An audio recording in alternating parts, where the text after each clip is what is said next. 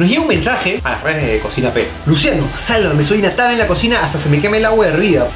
Por favor, necesito un plato súper fácil, con pocos ingredientes y que sea riquísimo. Hazte una colorada. Tiene que ser la pasta la carbonara. Cuatro ingredientes. Pasta, huevos, tocino, queso parmesano. Demasiado rico y es muy fácil hacer.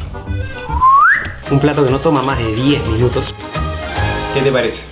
Hoy día vamos a hacer como una falsa carbonara. ¿Por qué? Porque no tengo guanciale, tengo tocino. Y además que tocino es algo que todo mundo puede tener en su casa y les va a salir bien. Y otra cosa es que no tengo un pecorino, sino tengo un queso parmesano normal y corriente, pero no importa, porque lo maravilloso de este plato es que si lo haces con cariño, te va a salir delicioso y es muy fácil hacer. La cosa es así, y es muy fácil en verdad. Una olla con agua hirviendo. Es lo único que he hecho, es con lo único que me he adelantado. Le voy a poner una cucharada de sal. El agua hirviendo. ¿Qué vamos a hacer ahora? Vamos a agarrar queso parmesano y lo vamos a requete rayar en un plato. A ver, les cuento algo. Hay una diferencia importante entre el queso parmesano y un queso Edam seco. Son dos cosas distintas. Yo les recomendaría que en la medida de lo posible se compren su bloquecito y que lo, rayen, va a quedar mejor. Pero también hay, hay buenas marcas de queso parmesano por ahí en el mercado, así que ya lo pueden comprar rayado. Entonces, tenemos más o menos como unos 100 gramos de queso parmesano, quizás hay acá un poquito más. Cuando se raya, parece que es mucho más de lo que es. Y aquí vamos a poner dos huevos. Uno y dos. Por ahí visto unas recetas de carbonara donde le ponen crema de leche. Yo les diría que eviten eso. ¿Qué sucede? Este, por ahí hay gente que le pone crema de leche para que el huevo no se le cocine mucho después y evita que se haga una especie de tortilla de huevo. En verdad, no hace falta ponerle, solamente hay que tener un poquito de paciencia y buen humor con este plato y van a ver que les va a quedar increíble. Bien importante, buen pocotón de pimienta fresca recién molida. Después le vamos a echar más y vamos a agarrar. Yo voy a hacer un solo plato. Esto es como para una sola persona. Es un buen plato para comer cuando uno está solo o dobles la receta y haces para dos. Tengo un poquito de tocino y lo voy a cortar así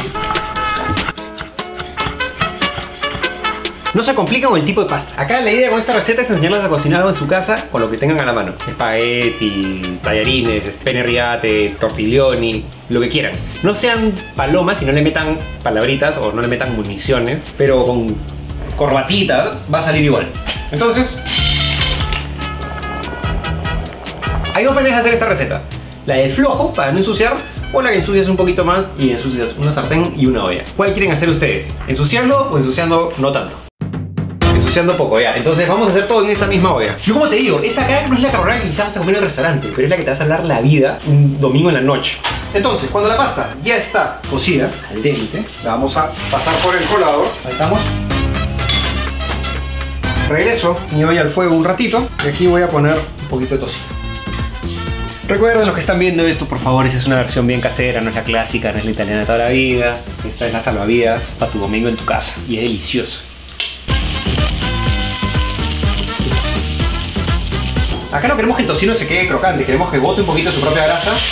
Y regresamos con la sartén apagada.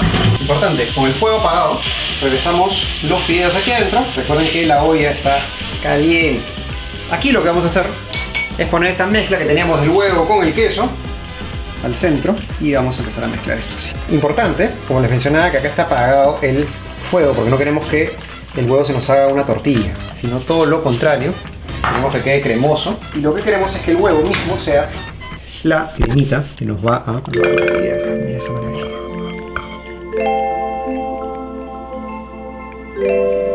Al final, si quieres, quesito parmesano y recontra importante, es un buen pocotón de pimienta recién molida.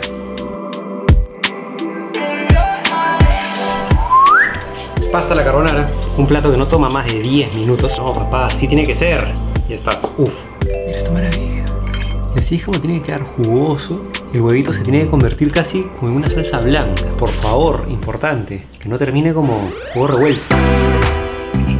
Mmm. Mmm. Es uno de mis platos favoritos de toda la vida. Y esto me ha salido bien rico. Demasiado rico, cuatro ingredientes al toque, nutritivo además. ¿Qué te parece?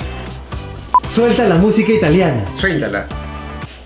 Pero no tan, Ahorita vamos a hacer una falsa carbonara, pero queda riquísima. ¿Por qué falsa? No, pero, pero pronúnciatelo. Uno, dos y tres. A mi chivolo le hago este plato, pero tres veces al mes, creo.